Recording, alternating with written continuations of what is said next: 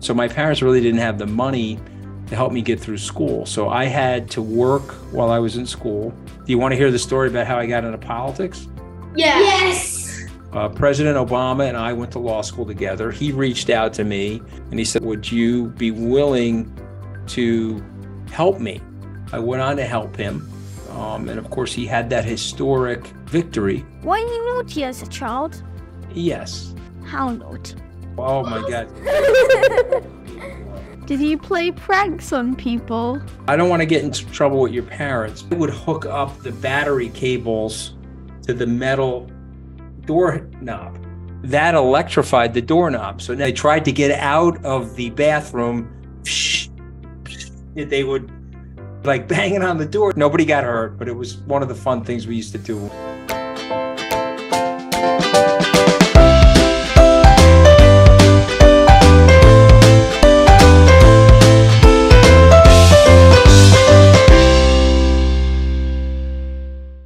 Today, we are going to be interviewing Anthony Scaramucci, a world renowned investor and an author of many amazing books, such as How Entrepreneurs Turn Failure into Success and What You Need to Know About Hedge Funds, but the managers won't tell you. Welcome, Anthony Scaramucci. Nice to see you guys. Before our other questions, we have a burning one that we just have to ask. Why are you called the Mooch? When did you get that nickname? Okay. Well, so when I was a young boy, I think you told me you were 10. Okay. So let me set the scene for you. When I was eight years old, I was in a gym class or physical education at my elementary school. And we had a very tough, uh, politically incorrect phys ed teacher from Germany. And I'm just going to set the scene for you. Your parents will laugh at this. It was 1972 and he didn't like people that had four syllable last names. And so there were Polish Americans in my class, there were Italian Americans in my class, and uh, yeah, my my last name has four syllables. I don't know how many yours does, but but I'll tell you right now, he didn't like us, and so he decided that he wasn't going to call us by our last name. He was going to pick one syllable in our last name, and that's what he was going to call us. And so I have four syllables of my last name. It's Scaramucci, E, Scaramucci. So he started calling me Mooch when I was eight years old, and that nickname has stuck with me for the rest of my life. Honestly, that that's kind of funny. Can you tell us about your childhood? Where did you grow up?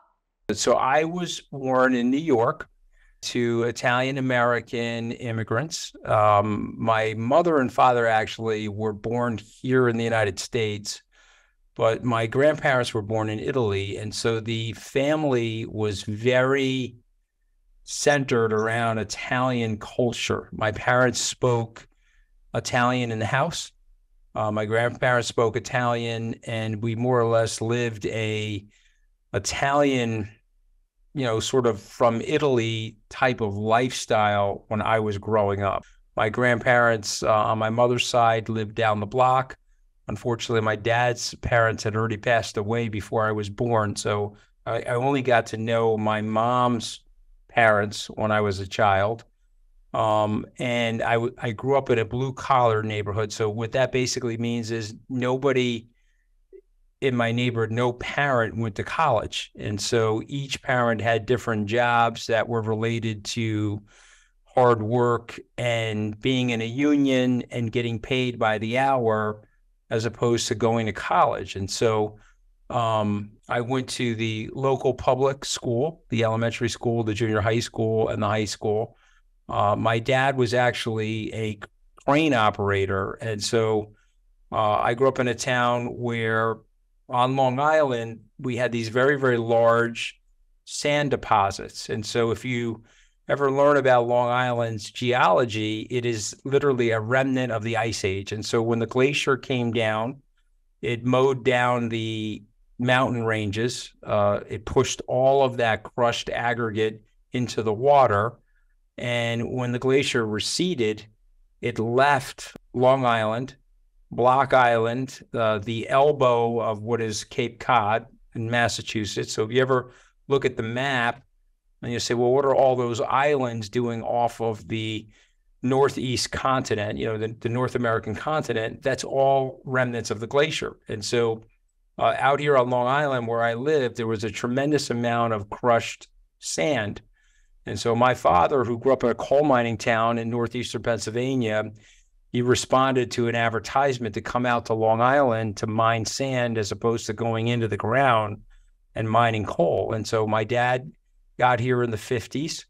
Um, he's 87 years old. He's about to turn 88. And he worked for 42 years as a crane operator. And so uh, it was a interesting way to grow up because there were no books in the house. There was no, uh, uh, I mean, they spoke mostly Italian. So, it, and it was an Italian dialect. So it wasn't even like Italian like you would learn in school, but it was sort of like a coarse Italian. And, uh, you know, they were great people, thank God, and they were loving people, but they didn't have education. So I had to find my way into the different schools that I ended up going to. Uh, it was sort of like uh, uh, finding your way around in the dark because I didn't really have any family members that had done anything like what I'm currently doing. What were some of your favorite subjects in school? Who guided you? Well, yeah, well, I was definitely into sports as a kid. I still try to be into sports today. I think you always have to try to stay physically active, guys, but I think you know that. And so, uh, and you got to eat right. You know that, right? So I'm sure your mom and dad are telling you that because this way, if you eat too much sugar, sugar tastes great, but you get very grumpy when you eat sugar. So. They are both v- nodding very vigorously.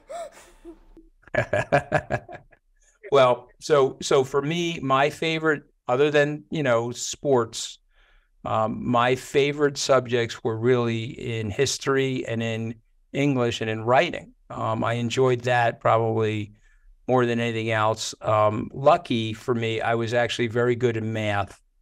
And so i had very high test scores thank god. Not bragging about that but i just had a good knack for school. And so i had good S scores in English and in math. And so, surprisingly, because I never took an SAT preparatory course or anything like that, I had very high SAT scores, which are sort of a preparation course or a test that you have to take to help a college admissions office analyze your uh, ability to do the work in college. If you were interested in mostly like the arts and literature, why did you uh, choose to get a career in like politics and economics? So that's a really good question. So I left school with a lot of school debt because my parents couldn't afford the college or the law school that I went to. Um, not that they weren't trying to help me, they were, but they just were not making enough money. You know, my dad, when he retired, his top salary was about 35,000 US dollars uh, the year that he retired. And so the schools that I went to were like 24,000. I mean, this is going back 30 plus years ago.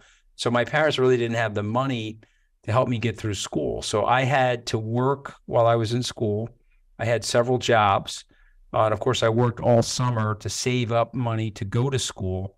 But when I left law school and my undergraduate school, I probably had $150,000 worth of school debt. And so I made a decision to go to Wall Street primarily because it was going to pay me a lot of money. Um, it wasn't, uh, I didn't sit there and say, okay, what is the thing that I love?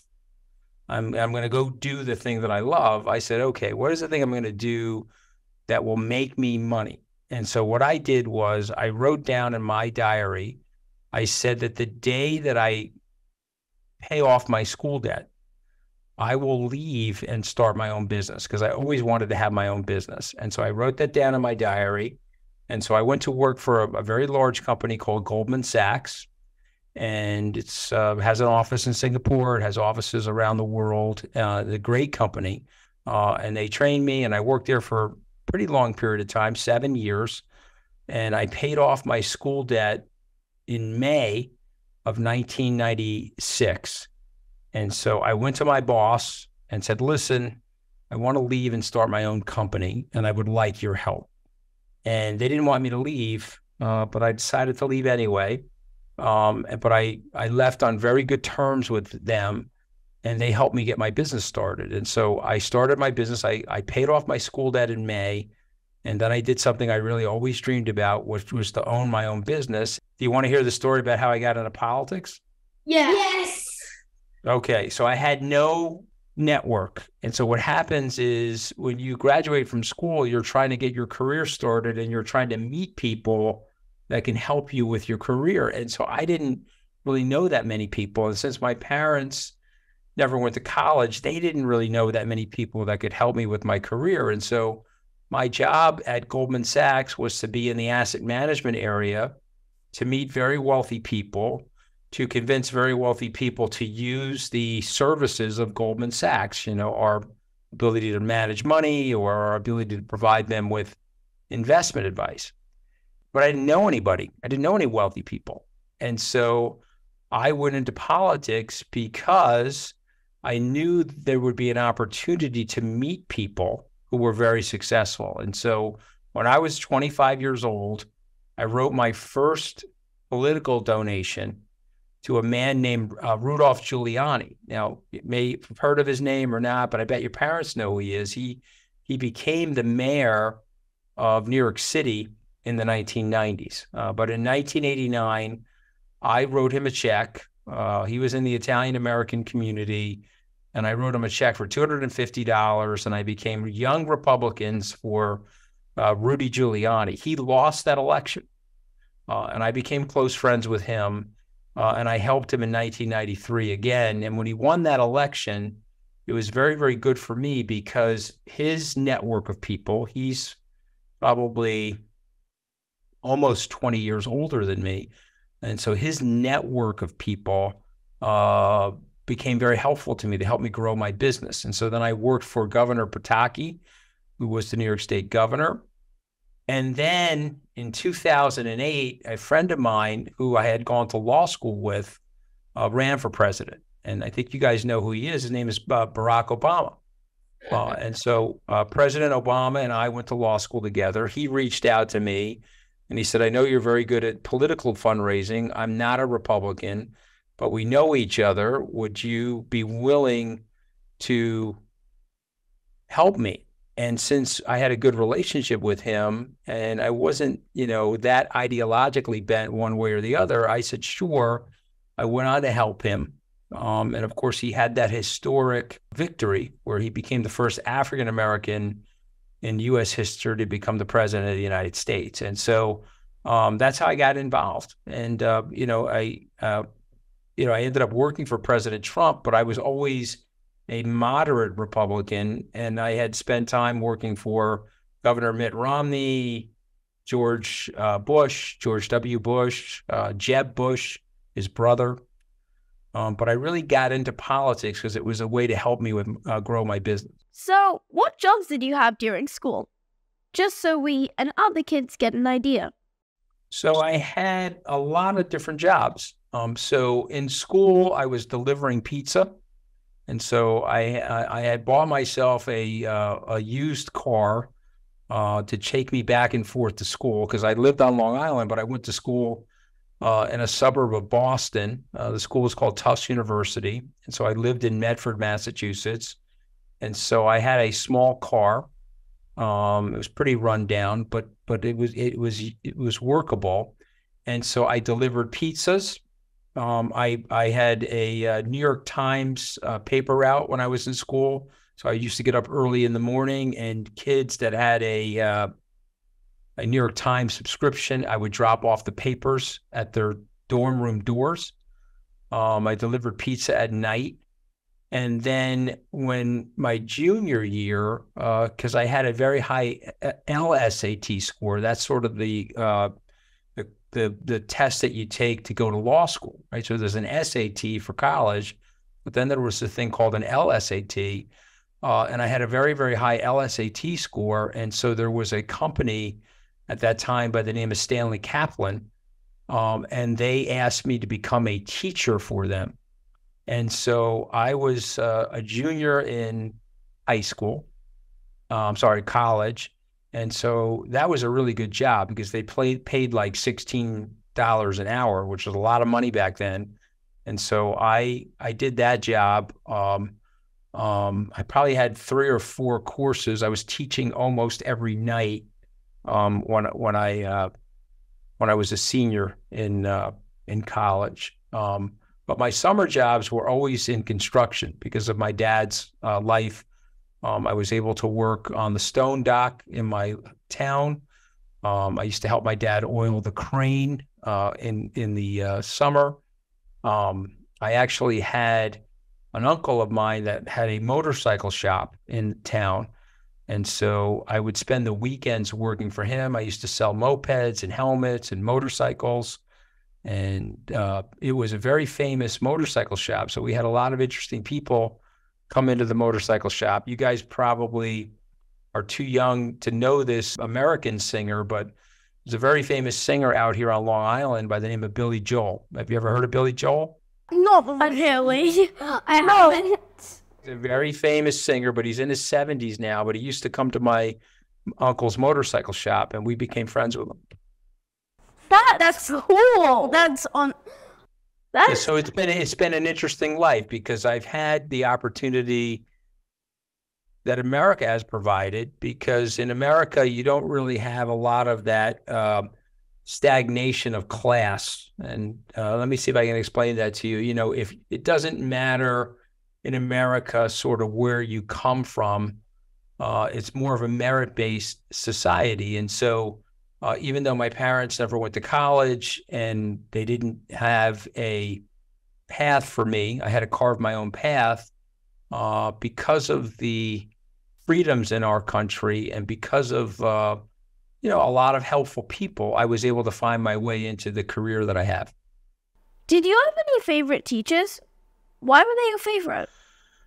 Here's what I would say to you guys, and I want you to think about this, okay? Um, my favorite teachers were the ones that really loved teaching, you know, and sometimes you get teachers that are doing it, but they're like, they don't do it with a lot of enthusiasm. So my favorite teachers are the ones that uh, I thought were the most enthusiastic. And I guess what I would say to you guys is you want to be enthusiastic. You want to be enthusiastic as a student.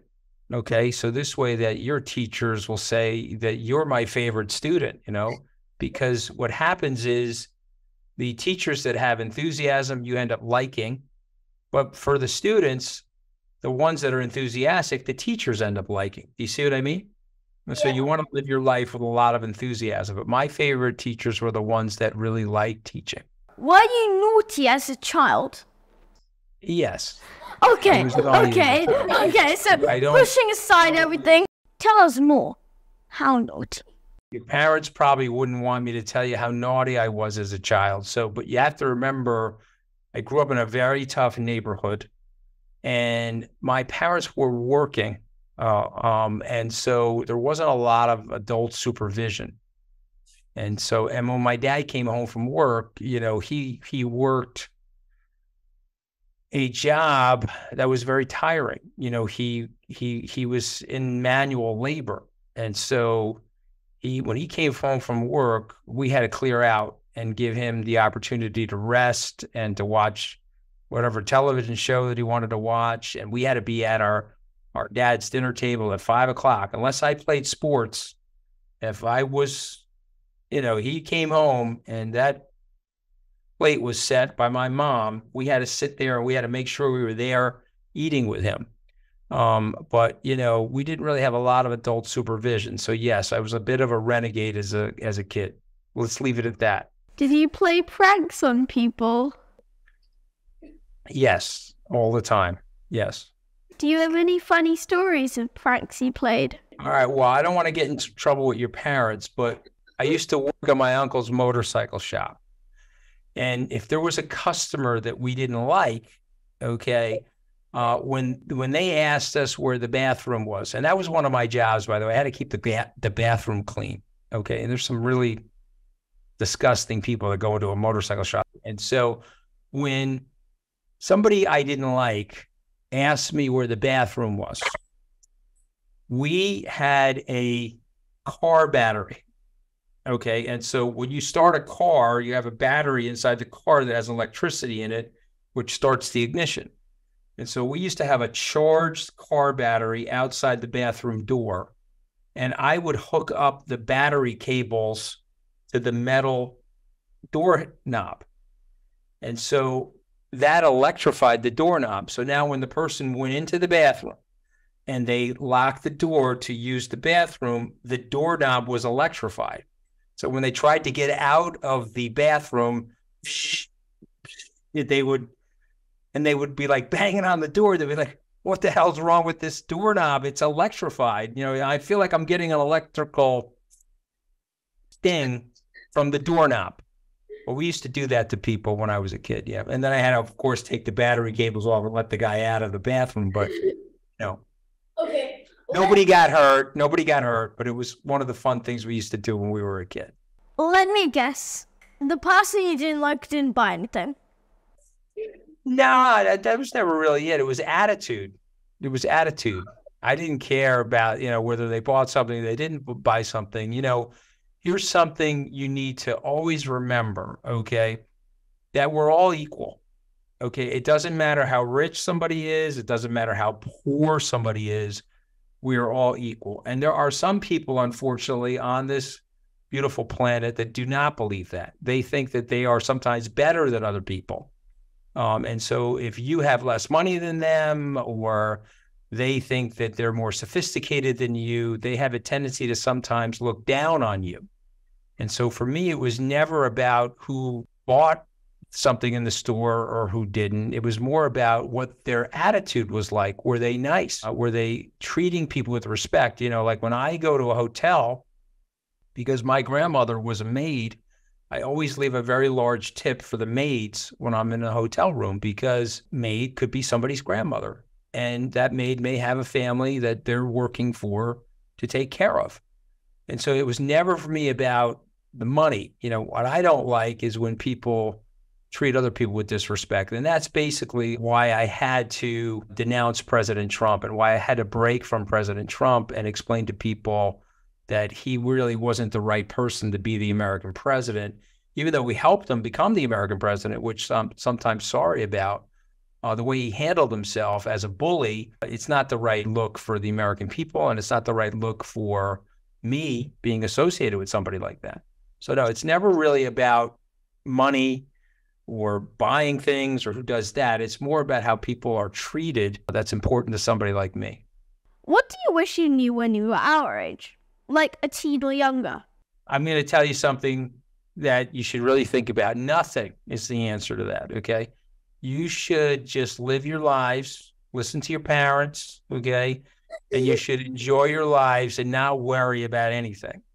Because you see, people ask me that question. I am very happy that I was a child when I was a child. I enjoyed being 10 and I enjoyed being 13. You see what I mean?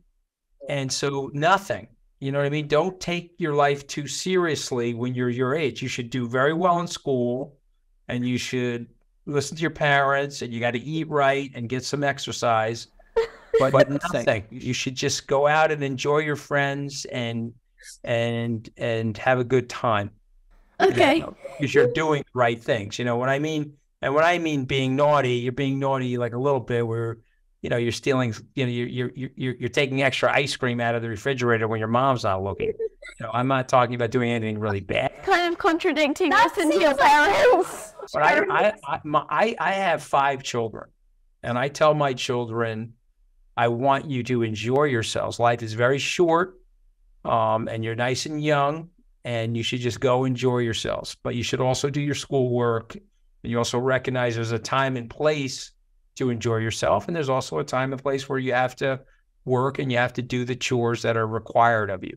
Suddenly, you know, j- j- just out of the blue, I think you might have become our parent, uh, our parents' best favorite person. Fa- My favorite mum, person. my Time. mum was overjoyed by the Yeah. fact that you said listen to your parents twice. Let me tell you why you should listen to your parents, though. Okay. Let me tell you why, because it's hard for kids because sometimes they don't want to listen and they're like, oh, my mom's driving me crazy or blah, blah, right? But but you should listen to your parents because nobody is going to love you like your parents. Nobody. Okay. Because you are part of them and they are part of you and they will do anything for you. Okay. And so that should give you some level of security and that should make you feel safe. But you should listen to them because they're trying to give you really good advice about how to have a happy and have a safe, healthy life. Yeah. Yeah. um, okay. Well, my parents are really good. They're really happy. Yeah. Okay. I mean, but that's the truth, you know, and that I'm just telling you the truth. Yeah. What books did you like as a child? Is there a book that you would recommend for kids our age? Okay, that's a really good question, actually. So I'm trying to think of your ages. And so I loved the books by Roald Dahl, um, which were James and the Giant Peach, Charlie and the Chocolate Factory. I would say to you that at 13, there was a woman writer in the United States by the name of S.E. Hinton, H I N T O N. And she had some really interesting books. One of them was called That Was Then, This Is Now. Another one was called The Outsiders. And these were books about uh, uh, people coming from their childhood into their teenage years and into their adulthood. And I think when I was 13, I remember reading those books uh, and thinking, boy, those were those are really good books. Uh, there's another book I think when by the time you get to 13 that I would recommend to everybody, which is called The Diary of Anne Frank. Oh, You know, oh, oh! I, I, I'm, I'm pretty sure uh, because in school we're learning about World War Two, and isn't Anne Frank the person who hid herself from the, from the Yes. German people inside like a secret place, and then they recorded the oh. Her practicing religion was Judaism. So she was a Jewish Dutch girl, and her family was in hiding for two years uh, during the Nazi occupation in the Netherlands. And they were hiding. And she writes about this in a very interesting way as a very young person. I think she was only 12 or 13 years old. I don't remember her age, but I think she was probably uh, 13. And it's it's it's a sad book in some ways as well. Um, um, but it's also one I think worth reading at your age. If you had to describe one or two experiences during your childhood that helped to build the foundation for your future, what would those be? I had really good grades, but I did wasn't really trying that hard, and so um, I was doing things like how could I say it? Like three quarters of the way. I wasn't in school. I wasn't going all out uh, because I got the grades pretty easily, and so my uh, senior year in school, I had ended up getting accepted to college. And so I wasn't working super hard. And I had to pay the tuition bill to go to the college. And at that time, the tuition was $24,000. And I didn't have a lot of money saved. And my father came to me with a $10,000 check and he cashed his life insurance policy. So it's a little complicated for somebody 10 or 13, but your parents would understand this. And so my dad worked in a union. And so every time they paid him, they took a small piece of his pay to pay for a life insurance policy. So in the event, God forbid, if my father died, I would have got, you know, the family would have gotten some money from the union okay, you know, in terms of uh, pay, a payment upon his death. And so there was a cash value to that life insurance. And my dad gave up his life insurance in exchange for the cash. And he handed me the cash. It was a $10,000 check. And he said to me, You know, I don't have the money to pay for this college. And I had to make a decision. I could have gone to the state school which was very inexpensive, or I could have gone to this private school that I got into. but I knew that the private school, I would meet people and it would be a different experience and it would be worth the money. I really believed that. And that was probably because some of my teachers told me that. And so when he gave me that check, and I realized that that was all the money that my dad had, it was a moment in my life where I realized, wow, I have to take this seriously. I don't want to let my parents down. I have to, instead of working three quarters of the way when I go to school, I got to go work 100% of the way. And I think it's a very big lesson for people, you know, work 100%. You know, you know when you're being lazy and you know when you're spending too much time on your phone or your iPad, you know when you're doing that. Okay. And you know when you need not to be doing that. Okay. Yeah, I know because I do the same thing. And so I'm not saying it's a bad thing to do, but I'm saying you know when it happens and you should try to do less of that and try to work at 100%. You know, I don't think she knows. I do. I don't. I. I I'm just saying. I don't think she knows. Okay. I think everybody your sister's age has got the same issue. Trust me. Okay. She's probably not any worse than any of her friends, but she has to say in her head once in a while, okay, listen, I'm going to get off of the screen. I'm going to spend less time thinking about what other people think of me, and I'm going to focus on improving myself.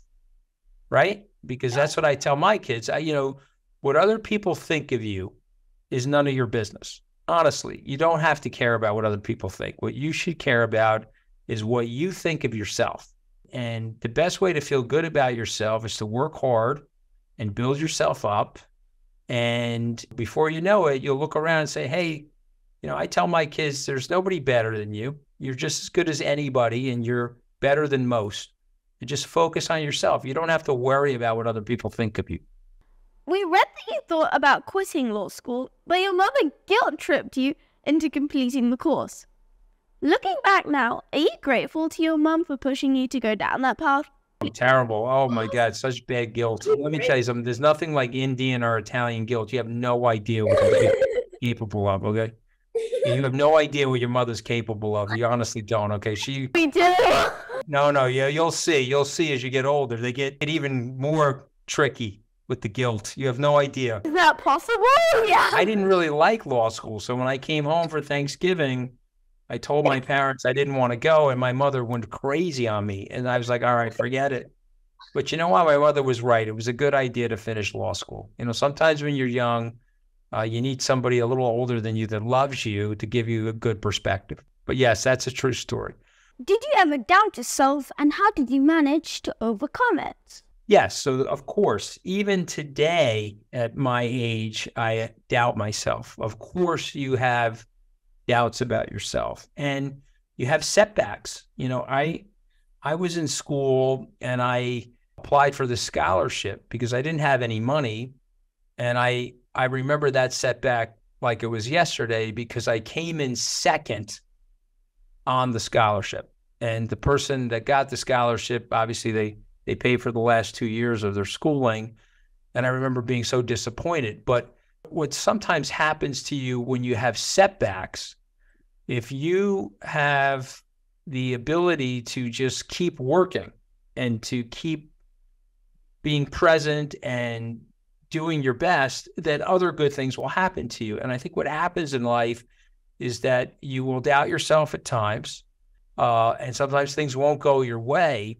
But if you just stay working and you keep a positive attitude, what ends up happening, you start to believe that even if you have setbacks or things that don't work out perfectly, you know, I've been, I was fired from my first job and then I got rehired. I got fired from the White House.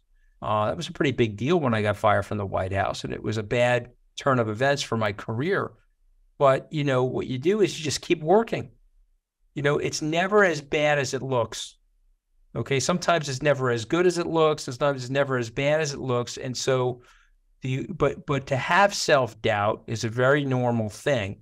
Um, but you have to work through it. You have to say, okay, uh, uh, okay, I'm doubting myself here, but let me keep trying.